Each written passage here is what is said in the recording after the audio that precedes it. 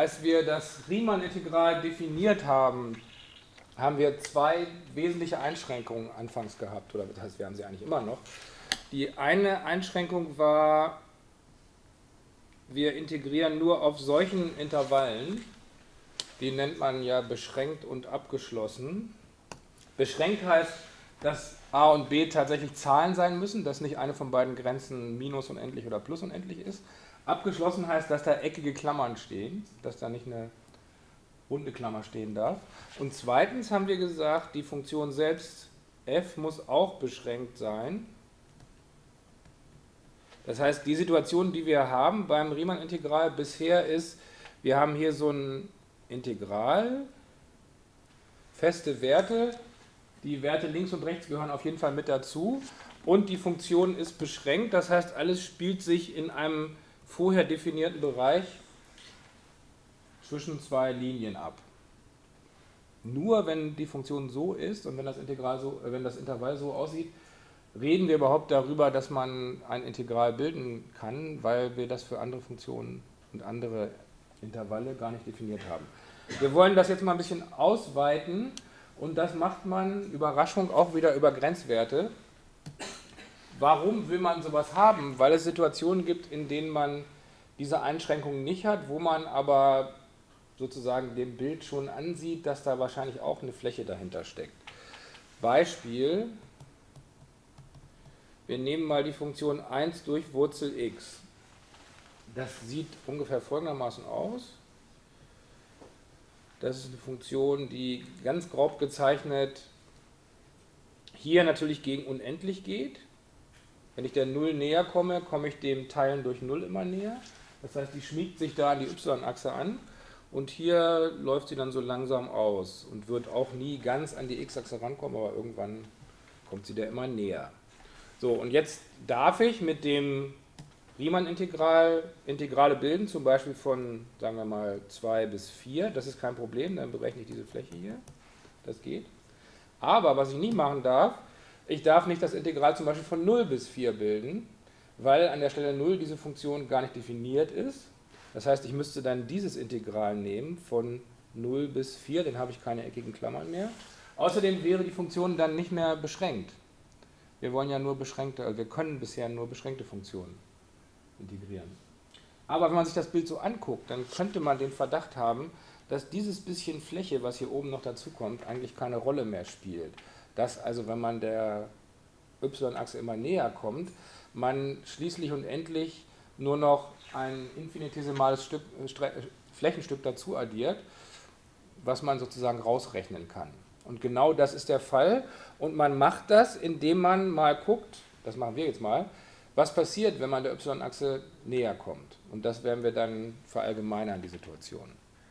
Also hier haben wir ein paar Näherungswerte, 3,36, 3,8 und so weiter. Und man hat schon offensichtlich das Gefühl, dass wir dann 4 da näher kommen. Vielleicht nochmal nebenbei eine Python-technische Frage. Ich habe jetzt ja SymPy angewendet und ich habe diese Funktion Integrate angewendet, die mir eigentlich exakte Werte liefern soll. Warum bekomme ich denn da jetzt Näherungswerte? Haben Sie irgendeine Idee? Eigentlich soll doch die, äh, diese symbolische Funktion das verhindern, dass ich Näherungswerte bekomme, aber ich bekomme ja Floating Point Werte zurück. Jetzt für unsere Frage nicht so wichtig, aber so, ähm, ich mache mal folgendes, ich nehme mal dieses Integral hier und setze hier mal ein das Integral von 1 bis 4, dann bekomme ich die Antwort 2, also eine ganze Zahl, nicht 2,0 oder sowas. Aber da oben habe ich äh, ungefragt Fließkommawerte bekommen. Irgendeine Idee? Das liegt an dem 10 hoch. Wollten Sie es gerade sagen? Ja, Floating Points haben, das war einmal schon mal bei dem Gründungsfehler, können wir den Kram machen und der dreht sich dann einfach über. Ja, aber das ist sozusagen eine versteckte Fließkommazahl, weil Sie rechnen da ja zum Beispiel 10 hoch minus 2. Und die 10 ist eine ganze Zahl und minus 2 ist auch eine ganze Zahl. Aber in dem Moment, wo Sie Stern, Stern schreiben, erteilen Sie Python quasi die Erlaubnis, mit Fließkommazahlen zu rechnen. Sie könnten das verhindern, wenn Sie pur mit SymPy rechnen, wenn Sie zum Beispiel, ich glaube, das heißt Rational da, aber in diesem Fall wollen wir das ja gar nicht. Wir wollten ja Näherungswerte haben, darum ist es jetzt auch nicht so dramatisch, dass da keine Brüche rauskommen oder sowas. Was wir eben gemacht haben, ist, wir haben das Integral ausgerechnet von mit der Obergrenze 4. Die Funktion war 1 durch Wurzel x. Und wir haben hier unten einen Startwert gehabt und diesen Startwert haben wir gegen 0 gehen lassen, testweise. Das heißt, wir haben im Prinzip numerisch geguckt, was wohl dieser Grenzwert sein wird. Äh, nicht unendlich, sondern 0 natürlich. Wir haben a gegen 0 gehen lassen. Und genau das ist dann auch die Definition. Das heißt, man sagt, wenn dieser Grenzwert existiert, das heißt, wenn ich über ein Integral rede, was es eigentlich nach Definition nicht gibt, weil das der, den Einschränkungen des Riemann-Integrals nicht entspricht, wenn ich das aber durch Grenzwerte annähern kann, dann nenne ich das einfach so. Das heißt, ich schreibe dann einfach, und das ist die, sozusagen die dritte Nutzung derselben Schreibweise, ich sage einfach, dieses Ding hier ist 4. Obwohl ich das, was da rechts steht mit der roten 0, eigentlich nicht schreiben dürfte. Das, was da rechts steht, ist nicht ein Riemann-Integral, sondern das nennt man dann als Fachbegriff ein uneigentliches Integral.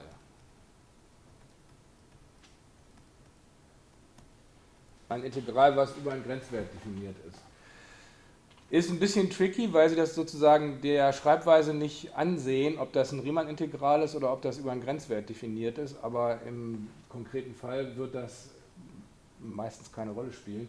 Und wenn Sie das, wie wir gleich sehen werden, zum Beispiel in SIMPI eingeben, wird das auch keine Rolle spielen, weil SIMPI das auch alles kann. Das heißt, wenn Sie das jetzt so eingeben, gucken wir gleich, dann gibt er Ihnen einfach die Antwort und sagt nicht, hey, das darfst du aber nicht, weil das nach Riemann nicht geht oder so. Was wir uns im Prinzip einfach merken sollten, ist, ähm, wenn dieser Grenzwert existiert, dann ist alles gut. Und ich habe das jetzt ja einfach nur mal so hingeschrieben, das heißt, ich habe so getan, als würde der existieren und der wäre 4. In diesem Fall können wir den tatsächlich ausrechnen, vielleicht mache ich das einfach mal. Also wir wollen diesen Grenzwert hier ausrechnen, wir wollen wissen, gibt es den Grenzwert erstens und zweitens, wenn ja, was ist der Grenzwert? Und in diesem Fall geht das natürlich, wir brauchen davon eine Stammfunktion. 1 durch Wurzel aus x ist x hoch minus 1,5. Die Stammfunktion davon ist also x hoch 1,5, äh, beziehungsweise mit dem Vorfaktor. Das heißt, das hier würden wir haben. Und jetzt, ach jetzt habe ich das zu weit links hingeschrieben. Muss ja den Linus davor stehen lassen. Das heißt, hier haben wir unsere Stammfunktion. In den Grenzen von 4 bis a. Und da, das können wir jetzt ausrechnen. Das heißt, wir haben den Grenzwert von 2 mal Wurzel 4 minus 2 mal Wurzel a. Das ist der Grenzwert von a gegen 0. Wurzel 4 ist 2, 2 mal 2 ist 4, also von 4 minus 2 mal Wurzel a. Die 4 ändert sich nicht, wenn a sich ändert, also kann ich das rausziehen. 4 minus Grenzwert von dem hier. Und hier ist, steht nur noch die Frage, was passiert mit Wurzel aus a, wenn a gegen 0 geht. Und das, die Wurzel ist ja stetig. Das heißt, das geht einfach gegen die Wurzel aus 0, also gegen 0. Das heißt, dieser Term hier hinten fällt einfach weg. Das heißt, tatsächlich stimmt auch wirklich rechnerisch und nicht nur angenähert, dass der Grenzwert existiert und 4 rauskommt. Aber wie ich eben schon sagte, normalerweise müssen Sie sowas nicht machen. Was Sie eigentlich im Kopf behalten müssen, ist, es gibt diese komischen uneigentlichen Integrale und die sind definiert über Grenzwerte. Vielleicht nochmal ein zweites Beispiel. Dies war jetzt ein Beispiel dafür, dass wir ein Intervall haben, was nicht abgeschlossen ist und eine Funktion, die auf diesem Intervall nicht beschränkt ist. Was Ihnen auch passieren kann, ist sozusagen das gespiegelte Bild. Sie haben ein Intervall, das nicht beschränkt ist. Das geht auch. Das würde dann so aussehen. Sie nehmen als Funktion vielleicht mal ähm, 1 durch x Quadrat. Dann wird das ganz grob irgendwie so aussehen. Und jetzt haben Sie, na der letzte Strich ist nicht ganz richtig. Das muss ich natürlich hier auch so annähern. Dann haben Sie wieder die Situation, dass Sie sagen, ähm, ja, da kommt zwar immer noch ein bisschen was dazu, aber man kann sich vorstellen, weil dies hier ja immer näher kommt, dass das irgendwann keine Rolle mehr spielt. Darum könnte man sich fragen, ob es nicht möglich ist, sozusagen die gesamte Fläche auszurechnen. Obwohl diese Fläche eine unendliche Breite hat, hat sie vielleicht nur eine endliche Fläche. Das ist vielleicht am Anfang schwer vorzustellen, aber vielleicht ist das ja so. Das heißt, was ich jetzt haben will, ist, ich fange mal irgendwo an, sagen wir mal bei 1, hier ist der Wert 1. Ich möchte jetzt eigentlich sowas ausrechnen wie das Integral von 1 bis unendlich von dx durch x Quadrat. Das müsste ich jetzt eigentlich in Häkchen schreiben. Ich müsste sagen, sowas hier, weil das natürlich auch etwas ist, was laut Riemann erstmal gar nicht erlaubt ist. Das ist kein Riemann-Integral, was da steht. Aber so wie wir das eben gemacht haben, ist ja logisch, was man jetzt tun würde. Man fragt sich, ob dieser Grenzwert existiert.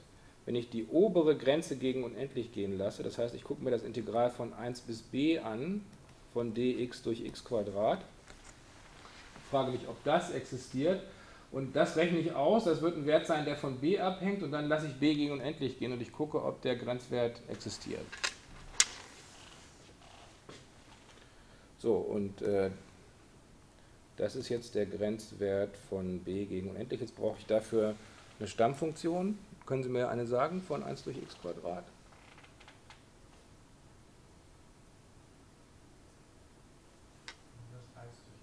Ja, äh, minus 1 durch x, das ist eine Stammfunktion, von 1 bis b. Das heißt, hier steht der Grenzwert b geht gegen unendlich von minus 1 durch b, minus minus, also plus 1, von diesem Ausdruck hier. Da haben wir jetzt hinten wieder einen Teil, der von b nicht abhängt und vorne haben wir einen Teil, der von b abhängt.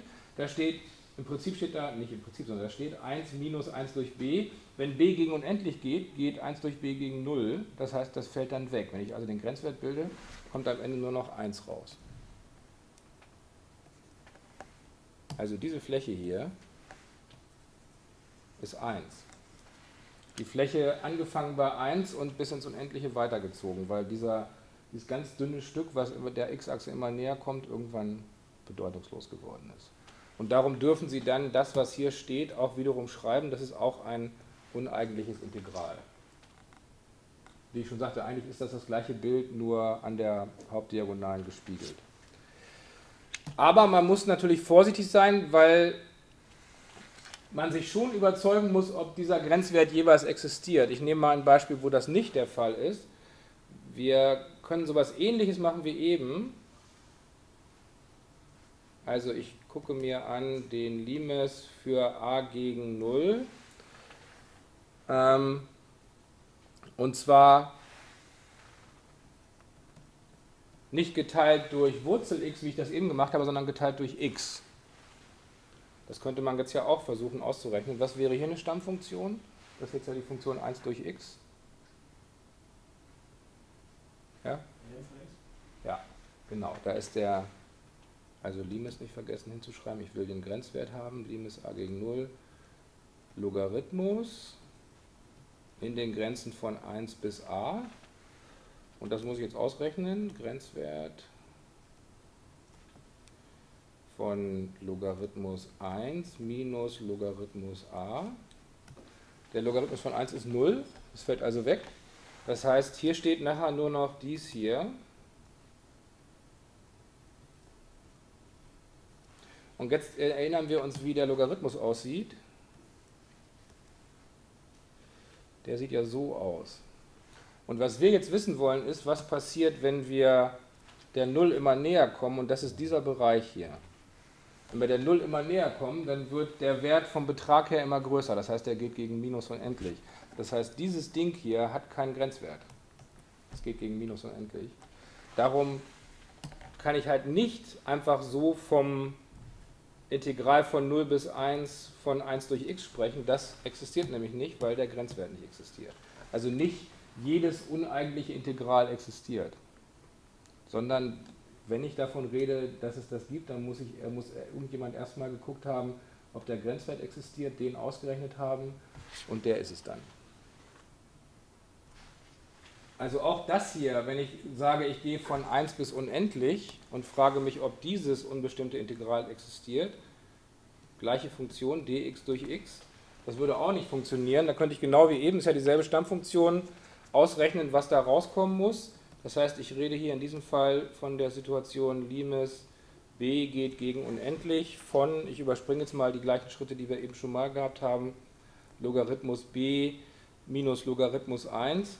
Und dann habe ich die Situation, das hinten fällt wieder weg, dass ich Limes b gegen unendlich von Logarithmus b habe. Das existiert auch nicht. Das heißt, auch dieses uneigentliche Integral existiert nicht. Und das gucken wir uns jetzt eben nochmal grafisch an. Das wäre die Funktion 1 durch x und ich habe mich eben gefragt, was ist mit der Fläche, wenn ich nach rechts immer weitergehe. Und da kann man jetzt eigentlich was ganz Hübsches machen, um sich klarzumachen, dass das nicht klappen kann. Wenn Sie sich mal hier drunter immer so Kästchen malen, ich mache die mal grün, ich lege hier so ein Kästchen drunter, dieses hier, und dann lege ich hier noch so ein Kästchen drunter lege hier noch so ein Kästchen drunter. Nur mal die ersten drei. Kann mir jemand sagen, welche Fläche das erste Rechteck hat? Ja? Ein halb. Und dann, wenn Sie schon mal dabei sind, sagen Sie mir auch gleich die Fläche von dem zweiten Rechteck. Äh, ja, dann äh, 1 mal 1 durch 3. Also ein Drittel, ne? Wie man auch sagt. Und dann ist diese Fläche hier ein Viertel und so weiter. Ne? Das heißt, wenn ich jetzt hier immer weitermache, dann habe ich hier lauter solche grünen Rechtecke darunter liegen und die Gesamtfläche von diesen Rechtecken ist ein Halb plus ein Drittel plus ein Viertel plus und so weiter. Kommt Ihnen das bekannt vor? Ja? Das ist die harmonische Reihe. Und wir wissen schon, dass dieser Wert nicht existiert, sondern immer größer wird. Und dieses Integral, was wir eben ausrechnen wollten, ist die Fläche unter der blauen Kurve, das ist sogar noch mehr als die grünen Rechtecke. Das heißt, man kann sozusagen an der harmonischen Reihe schon sehen, dass das nicht klappen kann. Weil die harmonische Reihe immer größer wird, diese, die Fläche der grünen Rechtecke, kann die Fläche unter der blauen Kurve nicht endlich sein, denn das ist ja noch mehr. Was lustigerweise funktioniert, nur mal so nebenbei, das müssen Sie eigentlich nicht wissen, aber vielleicht hören Sie den Namen mal irgendwann. Wenn Sie die äh, Rechtecke jetzt nach oben ziehen, also hier dieses Ding an der Stelle, das hätte jetzt ja die Fläche 1, und dann nehmen Sie hier das Ding der Fläche 1,5 und hier nehmen Sie dann das Ding der Fläche ein Drittel, so, also so, dass die roten Rechtecke immer so ein bisschen oberhalb der Kurve verlaufen. Dann haben Sie ja zwischen den Rechtecken und der Kurve ein bisschen Platz. Habe ich noch irgendwelche Farben übrig? Ich mache den mal schwarz, den Platz. Dieses Stück hier ragt über die Kurve hinaus. Und dieses kleine Stück ragt auch über die Kurve hinaus und hier ragt auch so ein kleines Stück drüber hinaus. Und wenn Sie jetzt den Grenzwert bilden dieser schwarzen Stücke, die über die Kurve hinaus gucken, dieser Grenzwert existiert und der ist ganz wichtig. Da kommt nämlich eine Zahl raus, also der Grenzwert, den nennt man normalerweise Gamma. Das ist die sogenannte Euler-Mascheroni-Konstante. Die kommt in ganz vielen Zusammenhängen vor. Die kennt zum Beispiel auch Ihr Computeralgebra-System und so weiter ist es ungefähr 0,577 irgendwas. Und wenn Sie mal auf der Wikipedia-Seite für die Euler-Mascheroni-Konstante nachschauen, dann werden Sie sehen, in wie vielen Zusammenhängen die quasi von selbst immer wieder irgendwie auftaucht. Und das Lustige ist, äh, man weiß von dieser Zahl bis heute nicht mal, ob sie rational ist. Also wenn Sie sich auszeichnen wollen und Ihren Namen unsterblich machen wollen, dann versuchen Sie mal zu beweisen, dass die Zahl nicht rational ist. Die ist mit ziemlicher Sicherheit nicht rational, aber man hat bisher keinen Beweis dafür, dass sie nicht rational ist. Definiert ist sie über diese, diesen Grenzwert der schwarzen Flächen, den ich da angedeutet habe. So, ich habe eben ja schon gesagt, dass SIMPI auch mit uneigentlichen Integralen zurechtkommt. Nur eben nochmal überprüfen, dass ich Ihnen keinen Quatsch erzählt habe. Das, was wir da eben hatten, war einmal 1 durch Wurzel aus x von x gleich 0 bis 4. Das Kritische an dieser Stelle ist, dass wir bei 0 anfangen, was eigentlich nicht geht weil wir nicht durch 0 teilen können. Das ist also ein uneigentliches Integral, aber ohne mit der Wimper zu zucken bekommen wir da den richtigen Wert 4 zurück. Und das zweite Beispiel, was wir hatten, ist, wir haben genommen die Funktion 1 durch x und haben die integriert von 1 bis unendlich. Und da können wir wieder OO schreiben, wie, wie das in SIMPI erlaubt ist und dann bekommen wir auch den korrekten Wert 1 zurück. Das heißt also, typischerweise können natürlich Computeralgebra-Systeme auch mit uneigentlichen Integralen umgehen.